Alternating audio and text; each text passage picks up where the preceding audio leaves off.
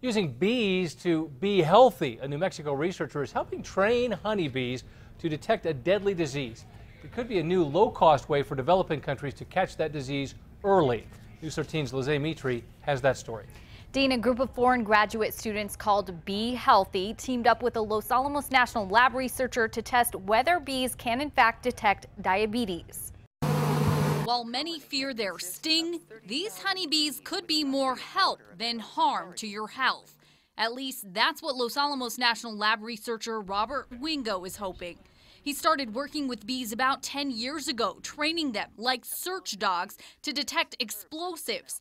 Then, about a month ago, students called him up wondering if these busy bees could also help detect diseases like diabetes. So at first I was like, eh, I don't know. But after looking into it further, he agreed to give it a try, helping the five students competing for the Hult Prize. The winner gets a million dollars to start up their project.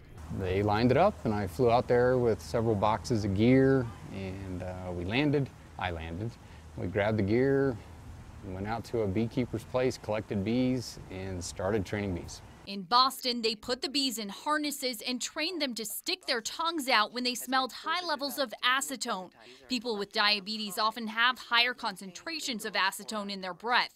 The bees got the smell, then a reward of sugar water to lick. They did that over and over until eventually the bees just stuck out their tongues at the smell and it worked with people too. We believe there's sufficient evidence to merit uh, looking at this more. The sweet promise of success, but not without a few stings along the way.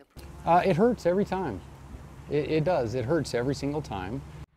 The team of foreign graduate students he helped is hoping bees will become a self-sustaining tool for detection in third world countries. People can sell the honey and wax from the beehives and use that money to finance the diabetes detection program. Dean, back to you.